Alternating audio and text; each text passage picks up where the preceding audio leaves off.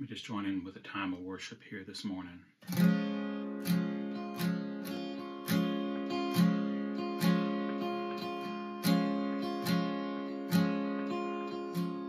Sing the Lord is my shepherd, the Lord is my shepherd.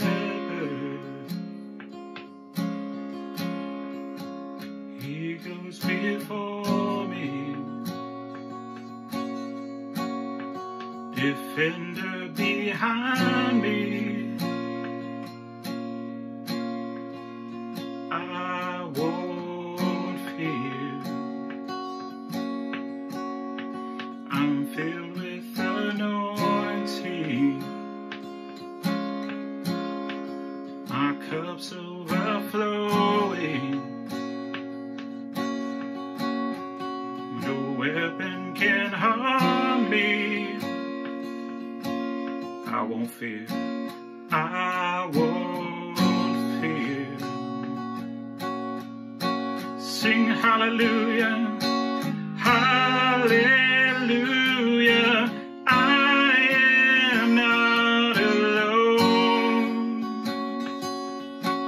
He's my comfort. He's my comfort. Always holds me close. Sing, He always guards me. He always guides me. through mountains and valleys. His joy is refreshing. His joy is refreshing. Restores my soul, restores my soul. Mercy and goodness, mercy and goodness. Give me assurance that I'll see his glory face to hallelujah.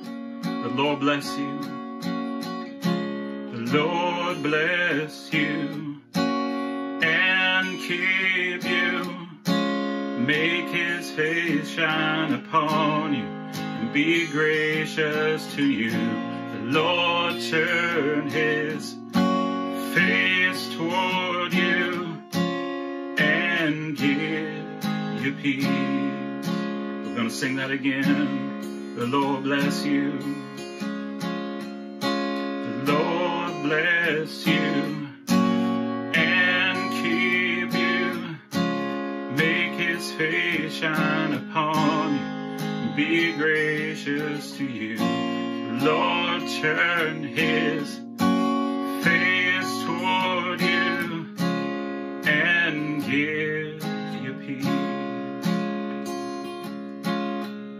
we're to sing Amen. Amen.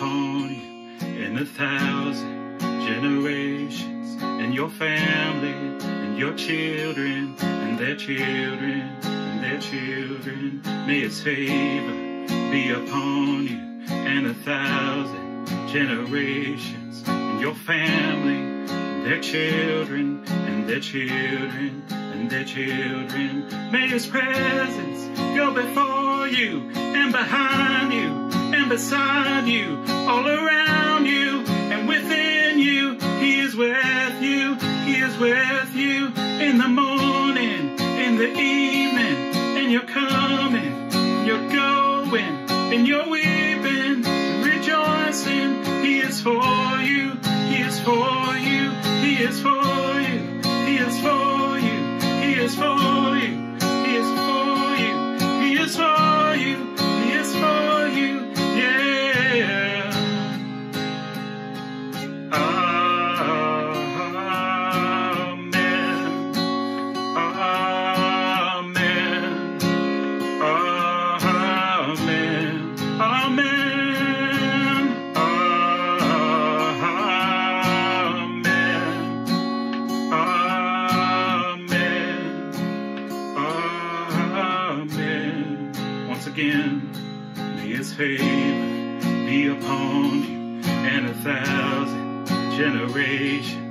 your family, and your children, and their children, and their children. May His presence go before you, and behind you, and beside you, all around you, and within you. He is with you, He is with you in the morning, in the evening, and you're coming,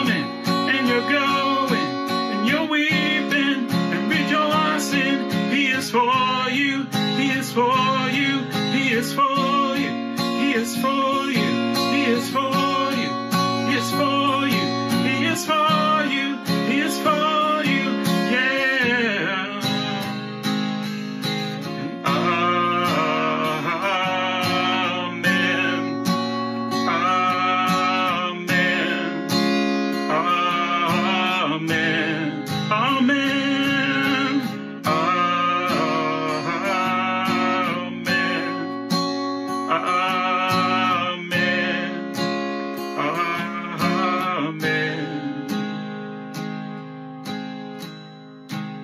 Good morning. Happy Sunday. I want to start my time with you with a series of thank yous. Thank you for the time of prayer. And thank you, Brother Eli, for leading us by worship into the presence of God. I also want to say a great big thank you to all the faithful of Portland Pentecostals who have continued to give of your tithe and offering. I can guarantee you by the word of God that you will be blessed by continuing to give in this fashion. But we are living in a time of what we have called sheltering in place. Some of you may wonder, what can I do while I am sheltering in place to impact my world? Today we are going to examine just a small segment of a life of a man who loved his fellow man, gave generously, and prayed frequently and fervently. We will be exploring the impact that his life had on his household, his generation, and his world. We're going to read from Acts chapter number 10, and I will promise you we're going to read a lot of scripture this morning because at Portland Pentecostals, we believe the Word of God is above all else. Acts chapter 10 and verse number 1 reads, There was a certain man in Caesarea called Cornelius, a centurion of what was called the Italian regiment a devout man, and one who feared God with all his household, and gave alms generously to the people, and prayed to God always. About the ninth hour of the day, he saw clearly in a vision the angel of God coming in and saying to him, Cornelius. And when he had observed him, he was afraid and said, What is it, Lord? So he said to him, your prayers, everybody say your prayers, your prayers, Cornelius, and your alms have come up as a memorial before God. Now send men to Joppa and send for Simon, whose surname is Peter. He is lodging with Simon, a tanner, whose house is by the sea. he will tell you what you must do. And when the angel who had spoke to him had departed, Cornelius called two of his household servants and a devout soldier from among those who continually waited on him. So when he had explained all these things to them, he sent them to Joppa. Have you tried recently to get someone's attention with just a little courtesy wave? And then you had to holler at them or flash your lights or honk your horn? People can be trained to respond to particular sounds. I remember growing up and going to visit my grandmother, and she was on a party line, and the phone would ring, and I'd run for it, and she'd say, Oh, no, no, no, ours is two shorts and a long. Her ears were tuned to that two shorts and a long. Probably when you hear the phone ring, you could tell if it's your ring or somebody else's. Do you recognize the voice of your child or perhaps the laugh of your spouse? Sounds do attract the attention of God. There are more actions that also draw God to the side of a man or a woman. A confirming statement is made by Jesus to his disciples in Matthew 10 and 42. And whoever gives one of these little ones only a cup of water in the name of a disciple, assuredly I say unto you, he shall by no means lose his reward. So God does watch what you are doing. Our character study is of Cornelius, who was not a Jew. He was not of God's chosen nation. He was considered an outsider at best and considered an enemy at worst of the Jewish people because he was a Roman centurion. He understood the chain of command. He was used to discipline. Cornelius respected order. He was good. He feared God, respected and obeyed God. He gave generously to the needs of others and he prayed regularly. One translation of Acts 10 and 2 says, He was a thoroughly good man. He had led everyone in his household to live worshipfully fully before God and always helping people in need and had a habit of prayer. A habit of prayer. Conversation with God. Cornelius was right with God. He was right with his fellow man and he was an influencer. He built a memorial before God. But the memorial was a memorial of cumulative effect. You and I cannot build a memorial in one day. Mount Rushmore was not built in one day. It was built over a period of years. In the fourth verse of Acts chapter number 10, I want to reword and reread the words that describe the lifestyle of this man, Cornelius. He observed all things righteously. And then an angel visits him and tells him why he is there. God heard your prayer and God has seen your generosity, so I am here. That was when God's tipping point came. Again, my sermon title is God's Tipping Point. The result of a tipping point in the life of Cornelius was life changing because an angel was sent to him. This was an astounding event, an unusual event. The attention of God was on Cornelius. There have been times in my life when I knew God was focusing on me. And it is my hope that my words today will push us and propel us in the direction of seeking the face of God and building a memorial before Him so that His attention is upon us. True to character, Cornelius prepared his servants and his soldiers and, and he sent uh, unto Joppa and Peter was escorted into the household of this righteous man, Cornelius. And Peter began to preach to Cornelius and his household. proof of the relationship that Cornelius had was God was in the middle of, right in the middle of the sermon of Peter and instruction of Peter, he began to receive the Holy Spirit and speak with other tongues. Peter reaffirms this later on when he goes before his fellow brethren and apostles in Jerusalem in chapter number 15. Not only did Cornelius receive the baptism of the Holy Spirit, but his whole household received the baptism of the Holy Spirit. They were born again. And at the conclusion of his sermon, Peter said, you must be born again of the water and the Spirit. He commanded them, commanded them to be baptized into the name of the Lord Jesus Christ. And another tipping point came. The result was that the gospel was open to the Gentiles, which includes me and most of you listening. The result was not just life changing, it was earth changing. When the attention of God is upon you, anything can happen.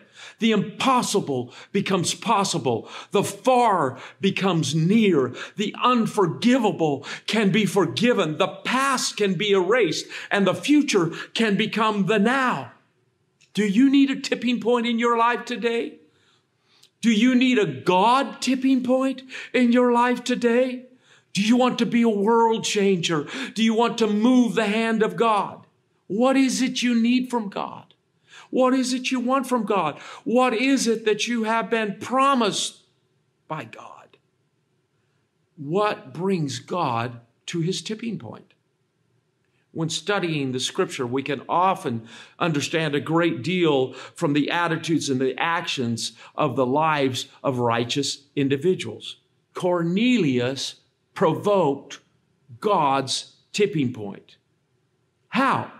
We know he was a thoroughly good man. He led everyone in his household to live worshipfully before God. I ask you, heads of household, gentlemen in particularly, are you leading your family to be submitted to the Word of God, the will of God, the purpose of God? Are you praying with them? Are you worshiping with them? Especially during this time when we cannot join together in corporate worship settings. Are you giving generously and regularly to the needs of others?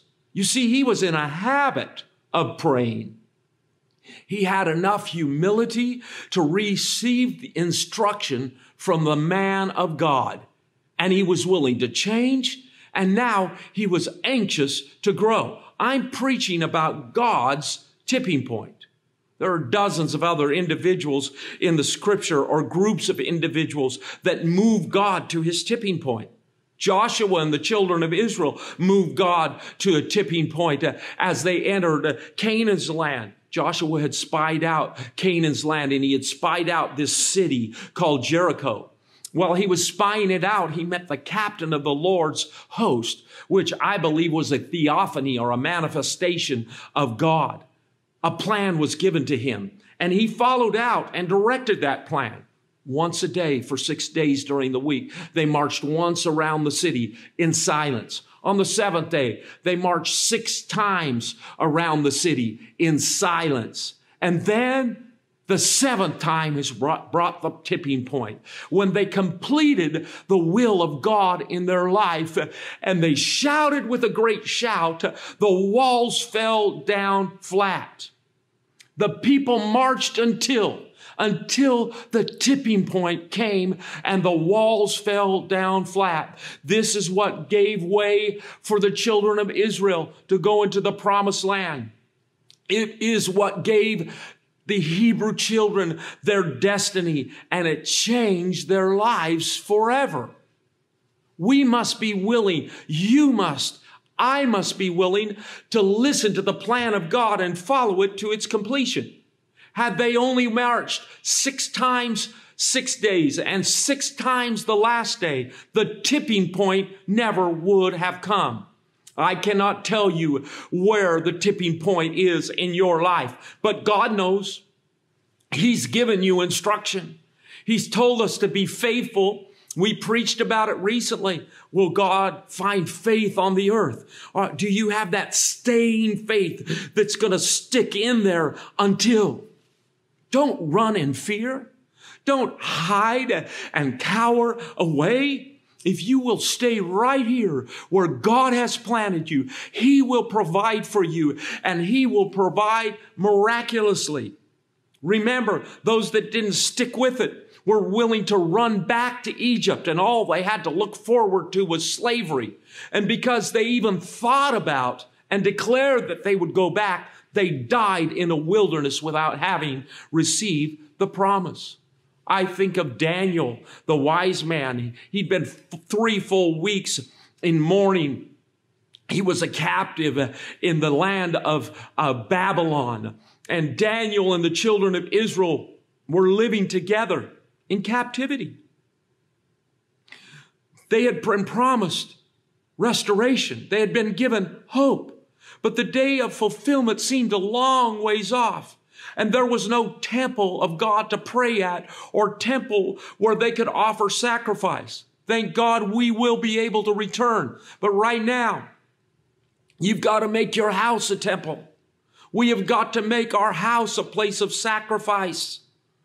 There were no sacrifice offerings, wave offerings, or heave offerings. There were no sounds of the trumpet giving a solemn call to come and worship. The great feast and fast of Jehovah were not being celebrated. But just because there wasn't a group fast didn't mean that Daniel couldn't fast. He fasted and prayed for 21 days and he persisted. Daniel included that regular regimen of praying. And he continued for three full weeks, dying out to self because he needed an answer from God. He needed a tipping point. He needed something to move the needle to the other side from fear to love, from failure to faith, from a time of loss to a time of gain. This was a time of seeking the voice of God, not of asking God to give him, Daniel, what he wanted. I hope in this time you're not just praying selfishly, but you're praying, Thy will be done. Thy kingdom come. It's not about you. It's not about me. It's about Him, Jesus, and them, the lost world out there. We have a mission. The breakthrough did come for Daniel. And perhaps you remember the angel appearing and saying, Hey, don't fear, Daniel, for from the first day that you set your heart to understand and to humble yourself before the Lord God, your words were heard. And I have become because of your words. He said, I came because you prayed. You moved the needle. The illustration was given and the declaration was made. I fought for 21 days and nobody stood with me to fight against the prince of Persia, but your prince. Oh, we are warring a warfare. We do not know when the tipping point will come and when the scourge will be pushed back or when we'll come back to the house of God. You don't know when your healing, your deliverance, your provision will come. That is determined by God and God alone. But you can move the needle. The messenger broke through the ranks of darkness, gave peace to Daniel, and revelation came to Daniel concerning the future plans of God for him and the children of Israel. Daniel had no idea how many days it would take, how long he would need to fast and pray, but he fasted until Daniel prayed until God's tipping point was reached. I would say to you and I, fast and pray until we reach the tipping point. Jesus' disciples learned how to pray until their instruction upon his departure was to go and wait for the promise of the Father in Jerusalem. Acts 1 and 4 says, And being assembled together, he commanded them not to depart from Jerusalem, but to wait for the promise of the Father, which he said, You have heard of me. For John truly baptized with water, but you shall be baptized with the Holy Ghost not many days from now. Did they go? Yes. Did they obey? Yes. For somewhere between seven to ten days, a group of individuals gathered. They prayed. The disciples were obedient and the tipping point came when the day of Pentecost was fully come. The Holy Ghost fell. Cloven tongues like as a fire set upon each of them. And they spoke with other tongues as the Spirit gave utterance. And the Victory was won for them. They were filled with the Holy Spirit. God's tipping point came, but they had to pray until their lives were changed, our world was changed, their world was changed.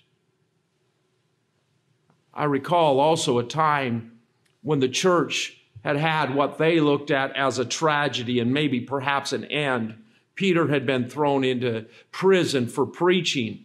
And uh, they delivered him to four squads of soldiers to keep him in. And they intended to bring him before the people after Passover.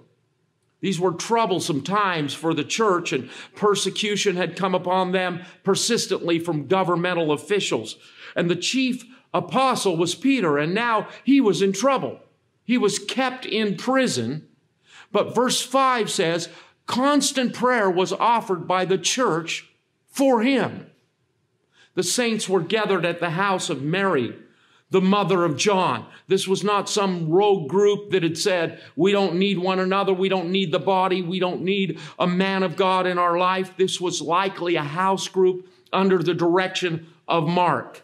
It was a connect group. It was sanctioned by the apostles. Be careful that you don't get caught up in some rogue group uh, or or veer off on your own or in this time when you cannot be in the house of God or see your pastor face to face. Don't lose hope and don't lose the voice of God and don't rely on yourself alone. This large group prayed consistently Peter was sleeping and the angel came and tapped him on the side and, and he led him out of the prison. And it wasn't until he got outside that Peter realized he wasn't dreaming. This was a real experience. Peter was ushered to freedom and the angel disappeared and the disciples were shocked. You see, they prayed and they didn't even know the tipping point had come because they kept on praying. That was all right. Better to pray longer than miss it by just a little bit. God's tipping point came and deliverance came miraculously from the heavenly realm, from outside of the earthly realm. It wasn't because they went to court or they appealed or they had some government favor, but God intervened. Pray for deliverance. Pray for freedom to worship again.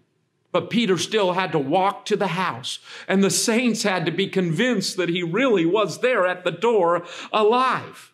The disciples did not know how long they needed to pray, but they prayed until Think of the apostle Paul in Acts chapter 27 and 28. He is being taken to Rome on a ship and he has told them not to leave one port and go to another, but uh, the captain doesn't listen to a tent maker, of course. He's the captain of the ship and they run into uh, Euroclydon, which was probably a typhoon and it had lasted for 13 days and they saw no moon, no sun, no heavenly bodies. And the Bible says Paul was fasting. He was fasting until an angel appeared by his side. And he put it something like this The angel of the Lord, whose I am, stood by me this night and he said, Look, it's going to be all right. You're going to lose the ship. You're going to lose these material things, but your life will be spared.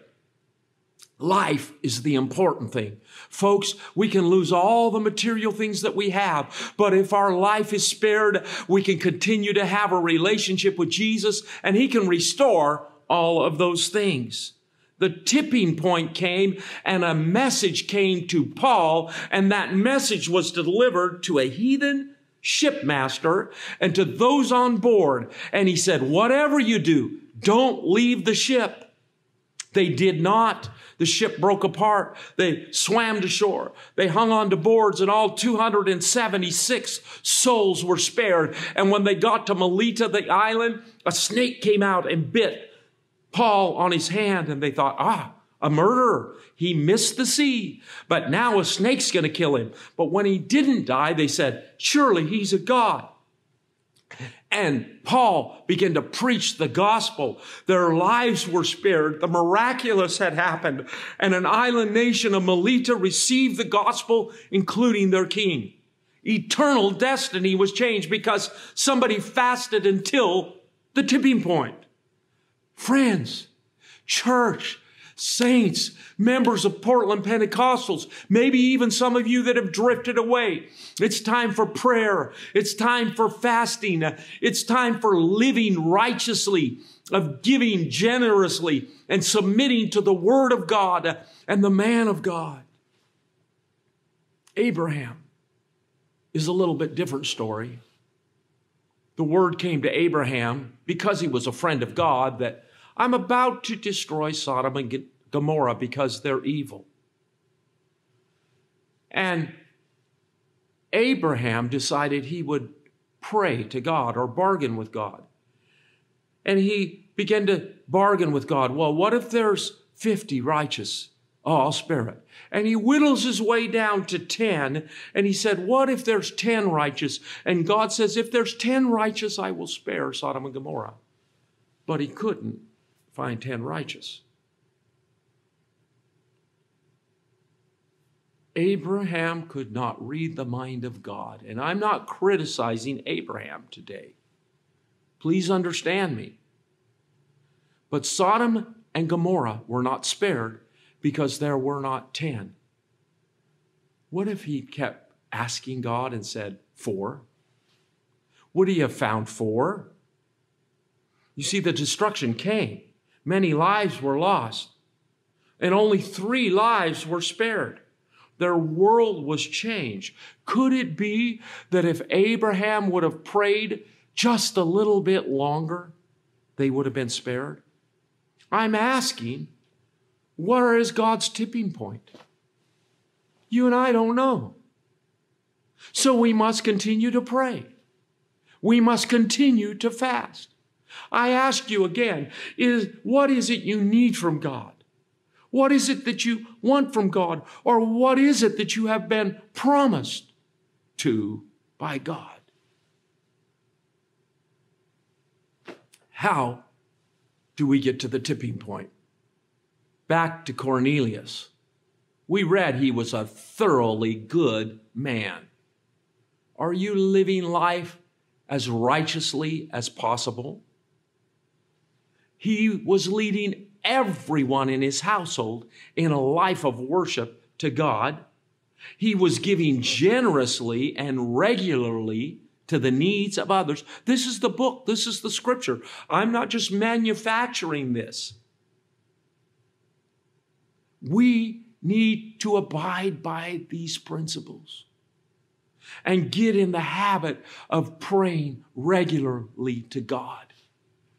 And if we do, God will visit us. He will give us dreams. He will give us visions. He will give us understanding. And if I had the time and had them written down, I could tell you of dreams and visions that have been given to many who have been part of the assembly of Portland Pentecostals uh, and they've seen them come true. And in fact, just over a week ago, I got a message on Messenger and I didn't know who it was from. And it was a young man who used to attend Portland Pentecostals that no longer lives in the city. And he said, Pastor, do you remember when I had a dream that the church was full? Looked like the dream came true. Listen and obey the voice of God. Obey his word. Obey the voice of the prophet, of the man of God. We all need an outside voice. I have outside voices that speak into my life on a regular basis. I have outside voices that before I make a major decision, I go for counsel to those men of God and they counsel me as to what I should do. Be humble. Be submissive enough to do more than what you're doing. I'm preaching about God's tipping point. If our attitude is right, we can push God to his tipping point. There are a few more scriptures that I'm going to read today that reemphasize the fact and the effect of the characteristics of Cornelius. If we can obey these scriptures, we can activate God's tipping point. James 5 and 16 says, confess your trespasses one to another. In other words, don't be a hypocrite. If you're wrong, tell somebody. Ask them to pray with you and get over it. If you've made a mistake, it's time to repent.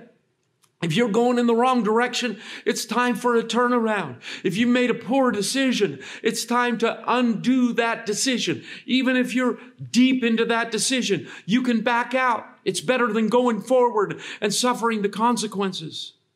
And pray for one another that you may be healed.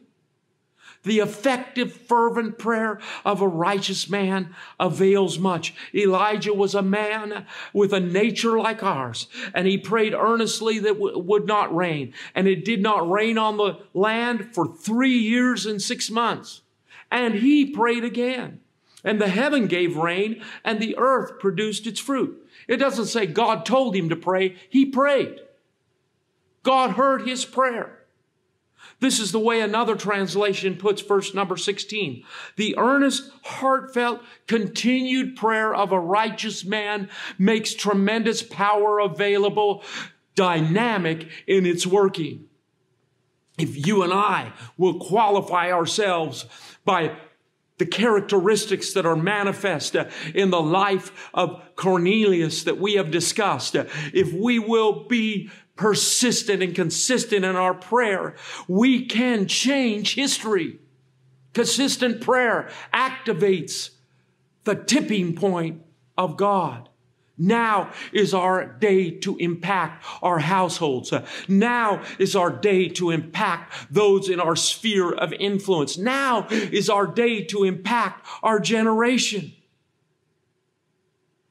The church under pressure, under persecution, we find words written to them in Romans chapter number 12, words by the apostle Paul. Be kindly affectionate to one another with brotherly love, in honor, giving preference to one another, not lagging in diligence, fervent in spirit, serving the Lord, rejoicing in hope, patient in tribulation. Are you being patient? It's hard. It's difficult. Then he goes on to say, continuing steadfastly in prayer, distributing to the needs of the saints, given to hospitality. I would say that loving our fellow man activates the tipping point of God. Giving generously activates the tipping point of God. Effectual, fervent prayer activates the tipping point of God, forgiveness and love of one another activates the tipping point of God. Do you want to be a world changer? Do you want to move the hand of God? Do you want to impact this generation? What is it you need from God? Again, I ask, what is it that you want or desire from God? And what is it that He has promised you? Perhaps the clearest word of provocation can come from Jesus. Remember when we studied the, the persistent woman? And it says she came repeatedly appealing for justice. To the church at Ephesus, Paul wrote in verse 18 of chapter 6 praying always with all prayer and supplication in the Spirit, being watchful to this end with all perseverance and supplication for the saints. It's time to pray for one another. It's time to pray for the lost of our world. It's time, fathers, to gather your family together. It's time, husbands, to hold your wife by the hand and pray with her. It's time to submit to the word and the will and the purpose of God. This is not a time to be a loner, to be independent, uh, to be proud, to be boastful, uh, to be distant from God or his word. Give until God's tipping point is activated. Fast until God's tipping point comes. Pray until God's tipping point is reached. God will use you to bring about a tipping point. I'm asking you to join with your family, with those in your household. Hold them by the hand. Make a fresh and a new commitment. Rehearse the characteristics of Cornelius. Be thoroughly good. Give generously to others. Pray regularly. Submit to the word of God and the voice of the man of God. Obey what God is telling you to do. And the tipping point will come. Today could be the time for your tipping.